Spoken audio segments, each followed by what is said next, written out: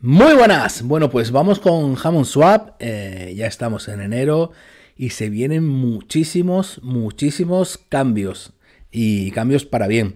Bueno, lo primero es que se va a pasar de la versión 1 a la versión 2 y vamos a leer ahora el white paper para entender mejor el por qué eh, se va a cambiar a otra versión y todos los beneficios que nos vamos a poder llevar y todavía estamos a tiempo los que aún no han comprado jamones.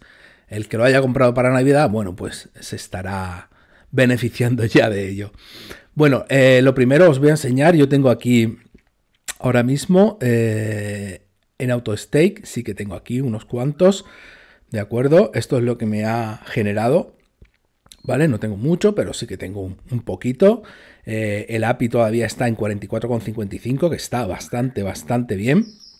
Sí es verdad que ha bajado, pero es que hay 413 millones de, jamones ya ahí en stake automático.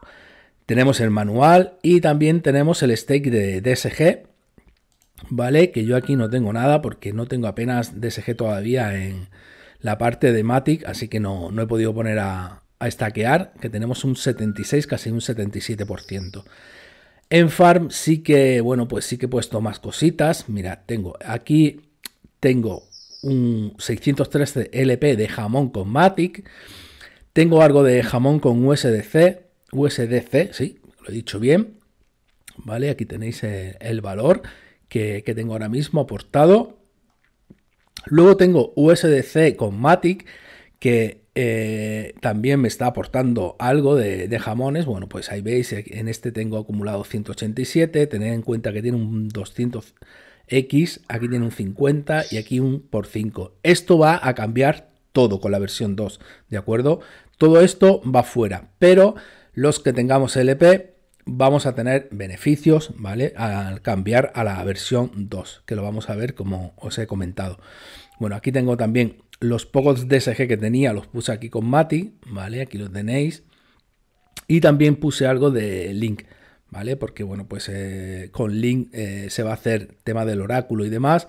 Eh, va a haber mucho acuerdo ahí y, bueno, pues decidí poner algo de, Link. Ya os digo que todo esto irá, irá fuera seguramente, así que, bueno, tendremos que estar pendientes. Pero van a hacer cambios de una forma muy, muy fácil. De, de hecho, bueno, en cuanto yo pueda os haré un vídeo también de ejemplo para enseñároslo porque no vamos a tener que desmontar la liquidez, sino que la vamos a poder pasar automáticamente, ¿de acuerdo? Bueno, sin más, vamos a irnos al white paper y así, eh, bueno, pues entendemos mucho mejor todo, todo lo que se viene.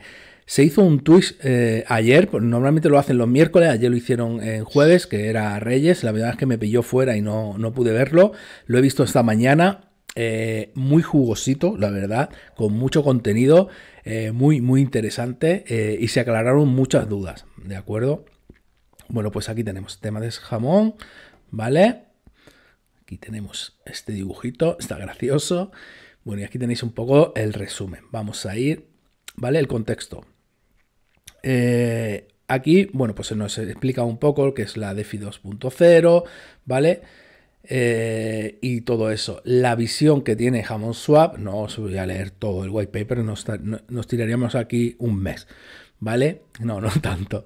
Bueno, pues eh, Swap, ¿vale? Eh, quiere ser un intercambio descentralizado de referencia, ¿vale? Dentro de la red Polygon. Una herramienta capacitada para entregar la mejor experiencia para el usuario a la hora de intercambiar, gestionar e invertir sus activos digitales, criptomonedas. La misión ¿vale? Eh, nace eh, con la misión de aportar al mundo de los intercambios descentralizados una versión mejorada. Por eso lo que estamos hablando de cambiar a la V2, ¿vale? Donde el usuario pueda encontrar nuevas herramientas con las que mejorar su experiencia a la hora de gestionar, intercambiar los activos digitales, ¿de acuerdo? Bueno. Valor. Eh, comprometido con el progreso social y económico a través de la innovación tecnológica. Nuestros valores representan la esencia de nuestras habilidades. Defendemos el equilibrio entre el usuario y la plataforma. Ambos deben de estar en el centro del modelo. ¿Vale? La cultura de la comunicación, transparencia, confianza, posibilidad, la apertura y crecimiento.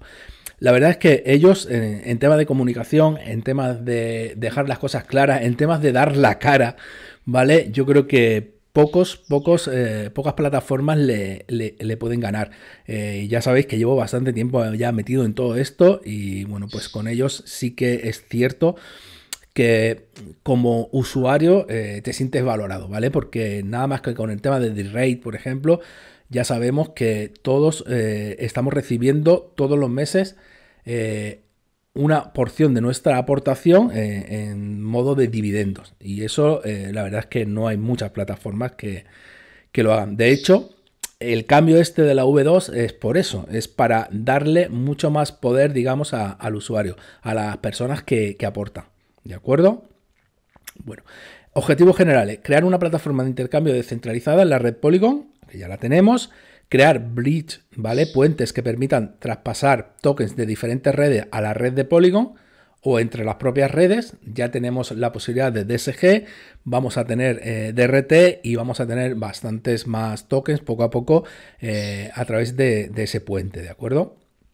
Implementación de herramientas avanzadas de trading mediante el servicio, el servicio Keepers de Chainlink, los que comentaba, ¿vale? Por eso yo estaba haciendo fan con, con Link, porque eh, bueno, pues con el servicio Keepers eh, vamos a poder poner stop loss, vamos a poder take profit, vamos a poder hacer muchas cosas que hasta ahora en casi ninguno o ningún DEX se, puede hacer, ¿vale?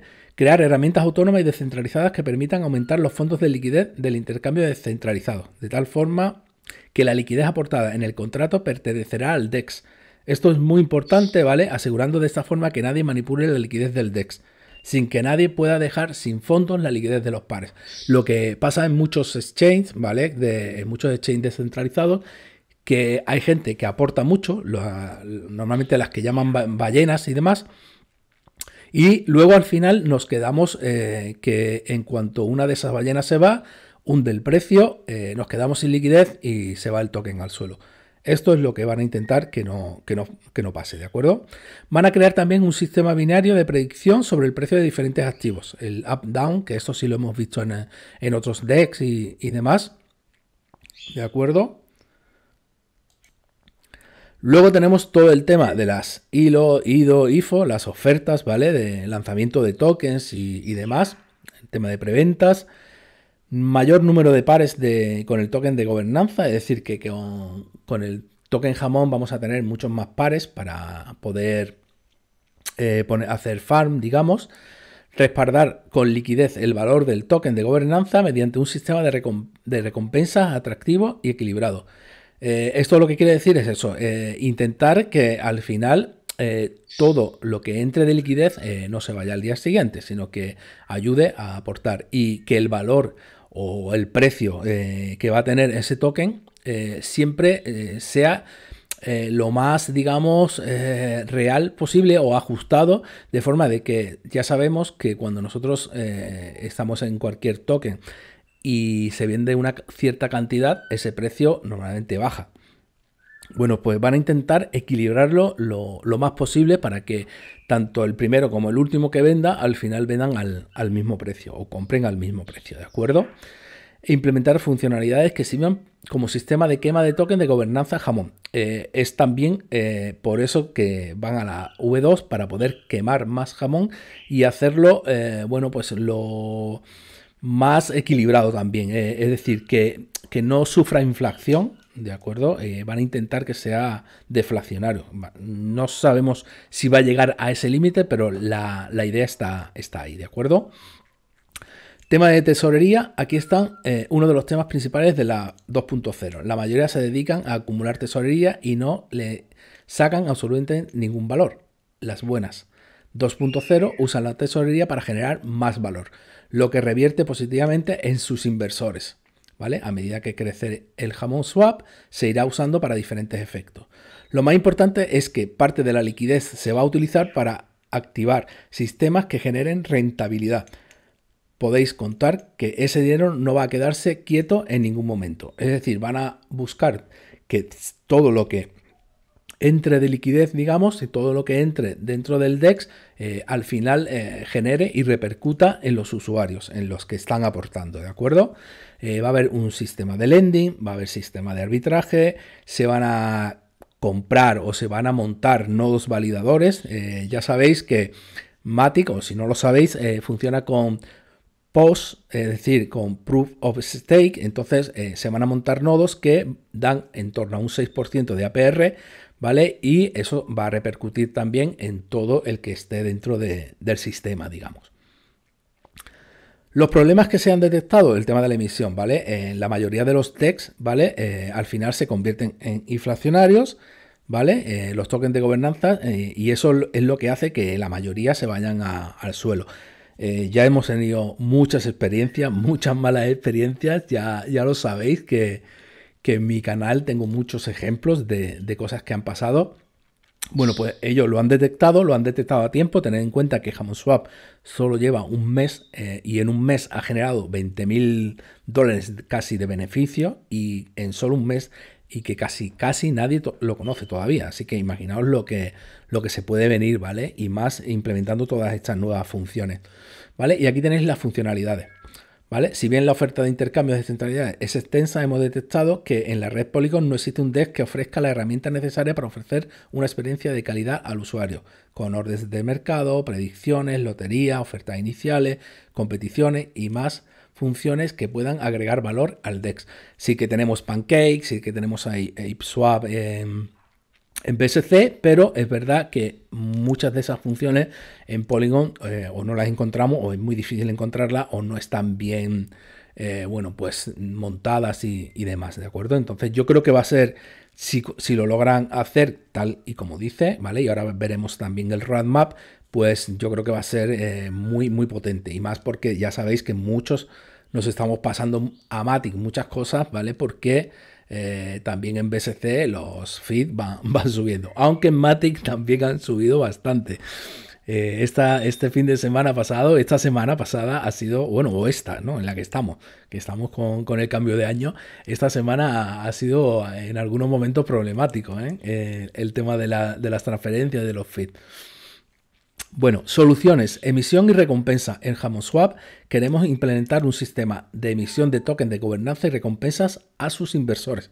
¿De acuerdo? Donde además de ofrecer atractivas recompensas por la aportación de liquidez, hacemos partícipes a los early investors, es decir, a los primeros inversores, eh, los que estamos desde el principio, los que vamos a estar desde el principio, porque todavía estás a tiempo, aunque esto no es un consejo de inversión, que lo sepas, ¿vale? Pues mediante token que representarán acciones del negocio de Hammond Swap. Eh, ahora, ahora lo veremos también. Bueno, y el tema de, beneficios. Se van a reducir la emisión de tokens por año, ¿vale? Respaldando esa emisión por la liquidez aportada, aumentando el valor intrínseco del token de gobernanza. Es lo que os estaba comentando antes. Ya que por cada nuevo token emitido se está aportando la liquidez que corresponde al precio del token en el mercado, menos su recompensa en el momento de la emisión. ¿Vale? Estas recompensas entregadas necesariamente, necesarias para incentivar a los inversores se compensan mediante los sistemas de quema e a implementar haciendo el token a medio plazo de emisión negativa, es decir, deflacionario, que es lo que todos persiguen, todos buscan, pero al final casi ninguno consigue. Bueno, aquí tenemos el funcionamiento, ¿vale? Se van a abrir tres fases de aportación de liquidez en las que se recompensará de más a menos según la fase en la que se ingrese, dado, dando en estas tres fases los J-Share, que son los tokens que representan las acciones de eh, ¿de acuerdo? Estos J-Share, mediante un contrato de stake, darán a su poseedor. Es decir, vamos a recibir J-Share, los vamos a bloquear, digamos, a, poner en stake para recibir eh, recompensa. Primero, la parte proporcional de todos los beneficios que genere el DEX por todas sus actividades y funciones. Es decir, normalmente los DEX eh, dan una parte a la gente que aporta liquidez y otra parte se la quedan ellos. Bueno, pues aquí se va a repartir todo, ¿de acuerdo? Entre los usuarios. Durante los 12 primeros meses desde su distribución, cada token o acción dará además 50 jamones al mes. Es decir, por cada J-Share que tengamos, eh, vamos a recibir 50 jamones durante 12 meses, 50 al mes. La distribución de los tokens, ¿vale? Eh, puede ser un poco complicado. A mí me ha costado también de, entender. Por eso también os digo que, eh, aparte del, white paper, tenéis el, el Twitch, ¿vale? Que la verdad es que ahí se aclaran mucho y hay algunos pantallazos muy interesantes con, ejemplos de, de, cómo funciona, ¿vale? La distribución del token de, acción, digamos, que sería el JChare, se hará en dos partes, siendo el ratio de un JChare por cada dólar aportado en liquidez y de 1,5 por cada dólar intercambiado de jamón V2 por jamón V3, aceptando en ambos casos la recepción de los jamones con el vesting a 12 meses. ¿Vale? Es decir, que lo vamos a ir recibiendo en 12 meses. La primera entrega de JChare será la que, dependiendo del precio al que esté el jamón en ese momento, ¿vale? a la hora de hacer la aportación de liquidez o intercambio de jamón, permita ofrecer la recompensa en jamones pactada. 2 dólares en jamón por cada dólar en liquidez aportado y 1.1 jamón por cada jamón intercambiado. Es decir, si tenemos liquidez, que por eso os he enseñado también la parte que yo tengo liquidez, vamos a recibir 2 dólares en jamón por cada dólar de liquidez que tengamos. ¿De acuerdo? Fijando el stake de JShare en 50 jamones por mes y por token, la parte que falte por recibir hasta cumplir el ratio de 1-1, ¿vale? Es decir, un dólar aportado o intercambiado por un JS, se entregará después de los 12 meses, que durará el stake de recompensa de los 50 jamones que hemos visto arriba.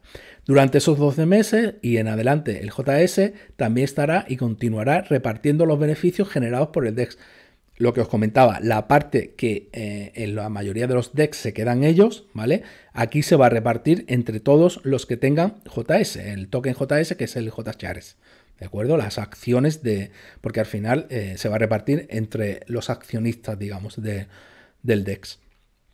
Bueno, aquí tenéis eh, cuatro fases, ¿vale?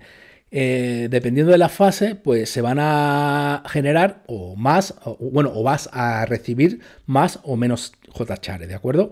En la primera fase, que va a ser los primeros 350.000 aportados en liquidez, por cada dólar aportado en liquidez de cualquiera de los pares de jamón, el usuario recibirá un JChare.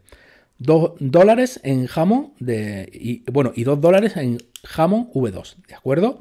En la segunda fase, otros 350.000 el usuario recibirá un JShare, eso no cambia, pero eh, de 2 pasamos a 1.8. Luego va, a pasar a 1.6, ¿vale? Y en la cuarta fase, ¿vale? La primera entrega de JShare se, se hará una vez finalizado el periodo de oferta de aportaciones de liquidez que durará 3 meses. El precio del listado del token JShare será de 1 dólar por token con una liquidez inicial de 10.000 JShare. Eh, se espera, por lo que se ha podido, he podido investigar un poco, lo que hemos visto, eh, lo que hemos visto en el tweet y demás, que esté en torno a 6 millones el supply eh, máximo, ¿vale? Y una vez que eso sea así, no va a haber más. Va a depender del precio que, como hemos leído antes, al que esté el jamón en el momento del, del cambio, pero va a estar en torno a 6 millones. Es decir, va a haber 6 millones de acciones a repartir entre todos los usuarios de, de Swap. Y no habrá más, ¿de acuerdo? A partir de, ahí. Bueno, aquí tenéis, eh, una vez finalizada la emisión de los JChares, se seguirá incentivando las aportaciones de liquidez mediante un sistema de bonos. Esos bonos servirán también para incentivar los listados de nuevos tokens en, el DES, así como la SILO, la SIFO y la SIDO. ¿De acuerdo? Los bonos serán bono por 1 por 1.8, digamos. Este bono le dará al inversor 1,8 dólares en jamón por cada dólar aportado en liquidez. Los jamones se recibirán en 12 meses. Es decir, no vamos a recibir eh, de golpe para que no podamos venderlo y afectar el precio. Lo veo bastante, bastante bien. Bonos de 1.6, ¿vale? 1.4 y 1.2. El DEX incorporará un sistema de cálculo de emisión de bonos que teniendo en cuenta los tokens que se van quemando y que, perdón, teniendo en cuenta los tokens que se van quemando, permitirá ofrecer bonos con más elevado o menos elevado reward. En todo caso, limitado, limitando la emisión de tokens jamón a 30, 30 millones, ¿no? Supongo por año, 30 o 30 mil millones. Compensación por intercambio de jamón V1 a V2 con el vesting. ¿vale? El día 10 de enero, es decir, faltan tres días, eh, se va a hacer una snapshot, es decir, se va a leer la cantidad de jamón que cada uno tiene en su stay en la wallet, ¿vale? Esos wallets que están en la foto tendrán la oportunidad de intercambiar sus jamones por jamones V2 y aceptando el vesting recibirán 1.5 cherry por cada dólar intercambiado, además de 1.1 jamón V2. La cantidad a intercambiar por wallets será limitada a la que esté en los wallets el día de la foto. Es decir, si el día 10 no tienes jamones y no están haciendo staking, ¿vale? Porque si no, no se puede ver, digamos, no, no vas a poder recibir acciones del DEX.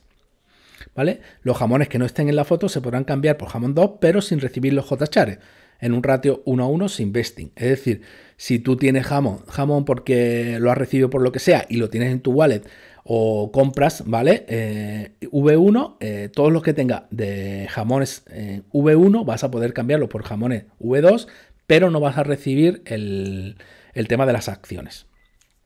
Token jamón V2. ¿Vale? La distribución inicial del token proviene de la fase de actualización. Una vez completado se emitirán 30.000 millones para los bonos de liquidez y eventos especiales y un 5% de los tokens depositados en la pool de stake. ¿Vale? Aquí tenéis toda, toda la información. JShare, igual, JShare tendrá un supply máximo derivado del intercambio de V1 a V2 y que como ejemplo podría ser entre 5, de unos 5.775.000, ¿vale? Que sería un millón eh, generado en la fase de aportación de liquidez más 4 millones generados en el cambio de jamón por vesting a 12 meses.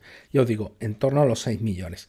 Solo se emitirán a cambio de LP recibidos en proporción un dólar por LP por un JChare o al intercambio de jamón V1 por jamón V2, obteniendo 1.5 JChare como premio a, cambio, ¿vale? De elegir recibir sus jamones V2 en 12 meses. Y aquí lo tenéis. El JChare se listará con un par eh, token Matic a razón de un dólar por token con liquidez inicial baja, que son los 10.000 que os he comentado, ¿de acuerdo? ya que no se listará con intención de especular, solo de para marcar un precio de salida y algo de emisión. De acuerdo, aquí tenéis más información de los stakes de JChare, de los stakes de jamón, ¿vale? El APR que va a tener, que, se va a incentivar. Sistema de quema, eh, el tema de listados del asilo, es decir, la gente que quiera lanzar su proyecto a través de la plataforma, ¿vale? Pues eh, al listar un nuevo proyecto deberán quemar una determinada cantidad de tokens jamón para de esta forma reducir el supply. Además se destinarán sus tokens de la siguiente manera. 80% listado convencional, agregar el token y la liquidez. 10% IFO, un tiempo después del listado convencional se dispondrá de un 10% destinado para IFO y que los usuarios de jamón puedan farmear ese token nuevo. Es decir, que nosotros vamos como usuarios también a tener beneficios ahí. ¿vale? 10% se destinará a crear una oferta de bonos, que es lo que hemos visto antes, para que los usuarios puedan añadir liquidez y generar ganancias en el token listado durante el tiempo que el, el proyecto quiera repartir dichos tokens. ¿Vale? También como estamos recibiendo tokens eh, de los proyectos que se han lanzado en D-Rate. Bueno, aquí tenéis. Eh, también vamos a tener un sistema de lotería. ya os digo que es un white paper bastante, bastante ambicioso. Pero bueno, es que hasta ahora lo van cumpliendo todo. Así que la verdad es que, mira, habrá lotería con un coste de 5 dólares en jamón. Y, como premio y con premios acumulables, ¿vale? El 30% de los jamones recibidos serán quemados y el 70% será repartido en premio. Y los botes son acumulativos. El sistema, al comprar un, boleto, te dará un número aleatorio de 6 cifras. Al finalizar el sorteo, tu número, empezando por la izquierda, deberá coincidir con el número premiado. Bueno, todo eso se va a hacer con el VRF de Chainlink. Y aquí tenéis acierto, quema el 30%, 6 aciertos te llevas el 20%, si tienes 5 aciertos se lleva el 10%, 4 otro 10 y así, ¿de acuerdo? Hasta un acierto. Bueno, aquí tenéis más información. Tenemos un sistema también de predicciones, el up-down, es decir, tú puedes decir que predices que el precio de un token o de, una moneda o de un token va a subir o va a bajar y eh, los que apuesten y ganen pues se van a llevar ese, ese un porcentaje del bote que, haya, que haya en ese momento, ¿de acuerdo? Un apartado de lending, ¿de acuerdo? Donde podrás depositar tus tokens para que otros usuarios lo cojan como prestados, ¿vale? Al apalancar sus posiciones. Eso también muy, muy interesante y que no se ve en muchas plataformas. Eh, como Hammond Swap ha cambiado bastante, porque bueno, era un fork de lo que es eh, PancakeSwap, pero ahora con todos los cambios que se vienen, sí que hay mucho código nuevo, hay contratos nuevos, entonces ellos han decidido hacer una auditoría y esta va a ser, a, través de Solid Proof. Eh, creo que todavía no está, ¿vale? Porque eh, están esperando a que esté todo el sistema montado y una vez que esté todo el sistema montado se hará la auditoría, ¿de acuerdo? Bueno, aquí tenéis eh, conversor, convertir jamones de V1 a V2. Habrá un, apartado de conversor, los son en jamón 2, ¿vale? JChare, liquidez reward. Aquí tenemos un poco, pues, todo lo que, las palabrotas, ¿vale? Que tenemos que aprender y que iremos viendo. JS Reward, ¿vale? Un contrato para que recompensa las aportaciones bloqueadas durante los 12 meses. Todo esto son los contratos que se van seguramente auditar, ¿vale? Para que, bueno, pues estemos seguros de que, de que funcionan y de que no hay ningún problema con ellos. Nuevas funciones, va a haber un trading competitivo, va a haber una competición de trading, que esto también lo hemos visto, por ejemplo, en PancakeSwap. Eh, los equipos ganadores al final, ¿vale? Eh, bueno, pues van a recibir todos un premio, ¿vale? Desde el primero al último. Eso mm, ya yo participé en una en, en PancakeSwap y es verdad que recibí algún premio. Es verdad que yo también apenas aporté, entonces también no me llevé mucho, pero sí que, recibimos algo. ¿Vale? Luego tenéis aquí integración de órdenes de mercado, integración de apalancamiento, liquidez app, que hablaba al principio. Vamos a poder cambiar la liquidez, ¿vale? Sin tener que eh, desmontar, vender, eh, volver a montar y demás, ¿vale? ¿Vale? Por ejemplo, si un usuario que tiene Matic y quiere agregar liquidez al pool jamón USDC, ese usuario deberá vender su Matic por USDC, vender el 50%. Bueno, eso es como, como había que hacerlo antes, ¿vale? Y todo esto, ¿vale? Queda fuera con la ecuación al utilizar ZAP, ¿vale? De esta forma podremos, a través de la función, poner los Matic directamente de forma automática y que hagan todo el proceso, ¿vale? El solo y con un coste de fin mínimo. Es decir, no vamos a, tener que hacer varias operaciones, sino que en una sola operación vamos a aportar esa, esa liquidez. Aquí tenemos el roadmap, ¿de acuerdo? Y bueno, pues ya veis. Segunda quincena a partir del día 15, más o menos. Ajuste total de la inflación y sistema de generación. En febrero la primera quincena actualización del puente para NFT y nuevos tokens. En marzo, la primera quincena, los silos y órdenes activas, ah, perdón, órdenes automáticas. En la segunda, sistema de predicción y competición de trading. En abril, en la primera quincena, vamos a tener la integración de la lotería y el sistema de IFOS. En la segunda quincena, la liquidez ZAP y apalancamiento lending. Y en julio, listado en CEX. Eh, ellos, eh, bueno, pues les gustaría que fuese KuCoin, ¿vale? Van a intentar que sea uno de los potentes, pero también asequible, ¿vale? Por, por todo los requisitos que hay que cumplir y, sobre todo porque hay que pagar para, para entrar ahí, ¿vale? Entonces, bueno, van a intentar que sea KuCoin, ya, ya lo veremos, pero para julio quieren estar ya en un, en un exchange, ¿vale? Centralizado de los, de los potentes, ¿vale? De tier 1, como se suele decir, de los más conocidos. ¿Vale? Aquí tenéis el equipo de, que hay detrás de Hammond Swap. Un poco las conclusiones. ¿Por qué Hammond Swap? Y aquí os, lo he explicado un poco todo lo que os he estado comentando. El tema de stake, este, eh, los J-Share, las acciones y el sistema de recompensas. El tema de la inflación, que es lo que ha hundido casi todos los DEX. ¿Vale? Eh, y centralizado al 100%. ¿Vale? Van a intentar que, y, bueno, ese es el objetivo que, se busca. Y nada más, aquí tenéis eh, un pedazo de proyecto. Yo creo que poquitas cosas nos vamos a encontrar tan, tan potentes como esta eh, este año. Y nada, yo esperando, ¿vale? Para tener mis V2 y sobre todo para tener ya mis primeros J-Chare, ponerlos a stackear y empezar a recibir recompensas igual que estoy recibiendo en D-Rate con, con el token DRT. Nada, espero que os haya gustado el vídeo y nos vemos en el próximo. ¡Chao!